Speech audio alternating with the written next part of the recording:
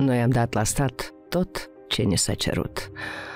Dar mai târziu tot una ne-au luat pânica până în ultimul grăunte. Ne-au scuturat de tot ce ne-a mai rămas. Așa era. Treceau două-trei zile și iar venea să le dăm. Am mai ascuns vreo câțiva ciocălăi, dar credeți că ne-a mers? Aveam un săiac, i-am făcut un pod de scânduri și acolo am dosit niște pupușoieși. Credeam că acei popușoi ne-or scăpa, că intram în iarnă fără zare de grăunți, fără nimic. Într-o zi ședeam eu în casă și mă uit pe fereastră și văd cum trece un om din sat, un cumătru de-al nostru, împreună cu președintele Sovietului Sătesc. Opresc lângă săiac și se uită lung încolo. După ce s-au îndepărtat ei o lecuță, eu fugă să văd de ce s-a oprit. De acolo, un șoareci făcuse o găurică printr-o scândură și prin ea se ițea un vârf de ciocălău. Ia, măi, comedie, măi! Nu zăbavă și au venit cu trăsurile, au dat scândurile jos, au încărcat popușoii și au măturat și grăuțele care au căzut pe jos. Le-au luat și s-au dus așa, cu mătru cum era. Noi am dus-o tare greu în acea iarnă. Am rămas fără niciun bob. Am avut niște uițe, dar le-am tăiat, că nu era încotro. Noroc că păstrasem lucruri bune țesute. Erau meșteriți tare scusite la Cuhnești Bălașa. Avea mâini de aur. Mi-a lucrat multe de la casei.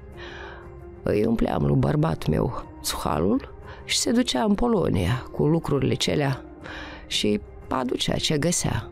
Cartofi, secar, ors. Important era să ajungem în primăvară, că încolo ieșeam noi. Așa aș și fost. Primăvara ne-a fătat vaca și dacă a dat domnul și a plouat, au ieșit și buruienile. Rupeam câte un mănunchi, le ferbeam cu lapte și le mâncam.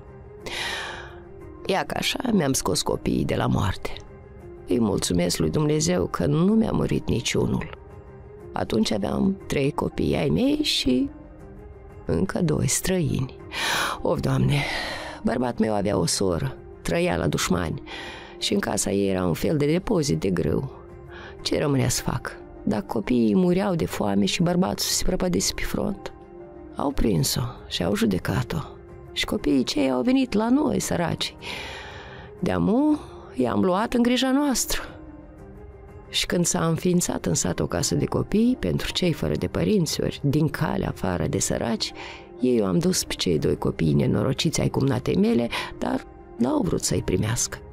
Toți au început să strige, și cei din sat, și președintele, și niște nacealnici de la Glodeni. Nu se poate, că Petea Macovei are cu ce ține. Da, aveam. Aveam borta pe care o făcut șoarecile în săiac. Au venit sărmănei înapoi. Ce era să facă? Noroc de vacă. Li dădeam la toți câte un pahar de lapte. Tare greu am mai dus-o până a crescut pe miriște grâul de anul trecut. Crescuseră niște spice tare frumoase și ne duceam împreună cu copiii și aduceam acasă câte vreo doi saci. Le uscam în cuptor, apoi le dădeam pre râșniță. N-a murit nimeni în familia mea, numai bărbat meu era cât pe ce să se duc. Se umflase la față, pentru că, oricum, trebuia să mănânci mai mult decât un copil. Dar eu le împărțeam la toți tot una, cum la copii, așa și la cei mari. Tare mai era jale de copii. În sat mulți au murit. De-am plouase, se făcuse pâine frumoasă, însă ei n-au mai ajuns să mănânce pe săturate. Multe familii au plecat pe drumul cel drept, toți la oaltă. Câți erau în familie? Patru, cinci, șase. Îi găseau pe toți morți în casă grămăjoară. Veneau trăsurile și îi strângeau. La o casă cinci morți, la alta șase și îi duceau la cimitir. Dar ei, Dumnezeu să-i ierte, nu erau toți morți. Câte unul mai mișca din mână, din deget. Îi trânteau așa în căruț și îi duceau. Of, of, of, of, ferească Dumnezeu ce mai era.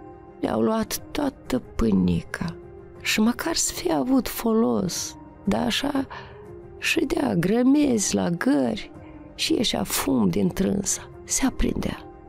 Niște popușoi cu ciocolăi mari de o dragoste, dar încearcă și ea unul.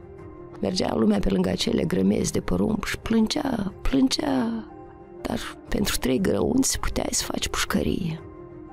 Era o femeie în vecini, rudă cu noi. Creștea doi băieți și două fete. Noi am mai avut pâine și la stat am dat, dar ei n-aveau absolut nimic. Noi am avut pentru că am lucrat, și cei mari și cei mici, dar care n-au prea ostenit, o leacă au avut și pe aceea le-au luat și au rămas cu nimic. Și iată că acea femeie și-a ucis un băiețel ca să-i hrănească pe ceilalți. A venit într-o zi la noi surioara lui de vreo trei anișori și zici Dar eu azi am mâncat un degețel de-a lui Porea. Te, ne uitam și noi, copil, ce vrei, dar ea, mama la fert în ceaun. A mai fost un caz. Unul a mâncat un băiețel de vreo 10 ani, dar nu al lui, ci al lui frate său. L-a chemat dânsul și... Țin minte cum îl ducea miliția, încins cu cureaua și cu toporul în brău. Atâta l-a mai văzut. Dar femeia aceea care și omorâse copilul, după asta, i-a lepădat și pe ceilalți și s-a dus în lume. Vreo patru-cinci ani nu s-a știut nimic de ea. Copiii ceia care rămăseseră ședeau în albă și mâncau colocei. Ea că așa era. Venea omul cu copilul, cu trăistuța de buruieni și grăia cu tine și cădea jos. Murea. Unul avea opt copii, dar alături de dânsii trăise o cumnată de mea care murise de foame. Șapte copii ai acelui om au murit. A venit o căruță și i-a luat pe toți, cu toate că din trânșii mai făiau. Și ne-am dus să o îngropăm pe cumnat mea la țintirim, ca la mort. Nevoie, sărăcie, dar tot trebuie să-i faci cumva rânduiala, măcar o lecuță. Aveam eu o trăistuță și am pus în trânsa ce am putut. Vreo câteva nuci, ce am mai avut, că nu era din ce coaci colaci și pomeni. Toată mahalaua, mai ales de la pod încoace, era presărat cu morți. Unul, țin minte, s-a așezat jos lângă o fântână și de-abia ciupea niște nalbă. Eu dau drumul la căldare în fântână, scot apă, dar el se răstoarnă și moare. Noi mai aveam un pic de răsărită dosită și într-o zi dau vreo doi pumni la râșniță și o leacă de grăuzic, să fac o leacă de cir. Și tocmai atunci trece pe drum un Iuda, un drac, și a văzut cum copiii mei mâncau semințe și ne-a părăt. Da, mie mi-a dat în cap că el a făcut-o, deoarece întreabă. Aveți răsărită? Da, cine are amur răsărită? Da, poi ea ca Ionica mănâncă. Poate i-a dat și lui vreun băiat să mănânci. După ce s-a dus, eu m-am suit iute în pot, am pus ce aveam într-un tobultocel și le-am dat jos. Eram slăbit și eu. L-am putut tăbărci numai până la ușă. Când a venit cei cu scuturatul, au deschis ușa, dar sacul era între perete și ușă și așa s-a acoperit țuhalul cela. S-au suit în pod, au căutat totul la oaltă de amărunțășul și n-au găsit nimicuța. Îmi tremura inima în mine. Mare poznă că o să-mi iei și leaca asta de răsărită. Se vede că s-a uitat Dumnezeu de sus, că n-au mai dat de halul cela de după ușă.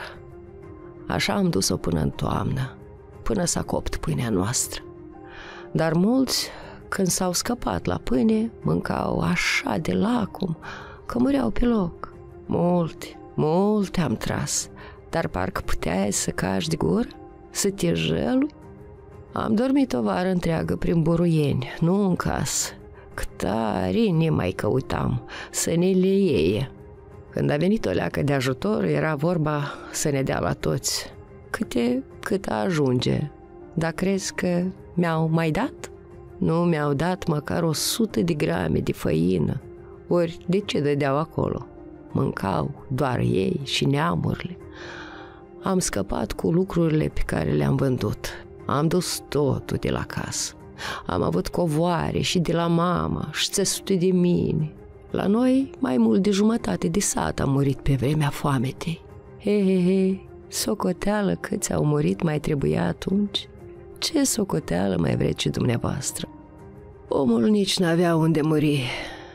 Murea pe prag, în o gradă, fiindcă vândusi scândurile de pilaeț pentru două grăunți. M-am dus la o femeie în Mahala și o văd moartă în fața casei, cu doi copii alături. Dar cine să îngroape atâția morți? Dacă erau toți slabi, abia își împleticeau picioarele. Cei care au mâncat pâinea nici nu se uitau la ei, nu aveau nevoie. Dar când veneau nacealnicii de la Glodeni, îi vedeam de departe, în trăsură și stârnind col pe drum. Lichitorile noastre de pe loc vineau repede cu limba scoasă și strigau. Mâncare, repede de mâncare pentru trei oameni, pentru trei, patru, cinci. Ce mâncare, mai să le fac? De unde? N-ai? Ai să ai, ai să găsești. Ce spaimă! Au murit mulți oameni gospodari. Dacă le-au luat totul, da, atunci trebuia să muncești. Noi am avut pământ, l-am muncit, l-am îngrijit. Noi am avut și am dat la stat și le-am dat și le-am dat până le-am dat tot, tot, totulica. Ne-au lăsat așa, cu cinci copii și nici nu s-au uitat. Mulți copii au murit, mulți. Îi punea mama trăistuță în gât și zicea, du-te după buruieni. Dar el se ducea, cădea acolo și nu se mai putea scula. Aveam niște vecini și când sclipuiau ceva de alegurii, îl trimiteau pe ficiorul lor Vasilic cu trăistuța după iarbă.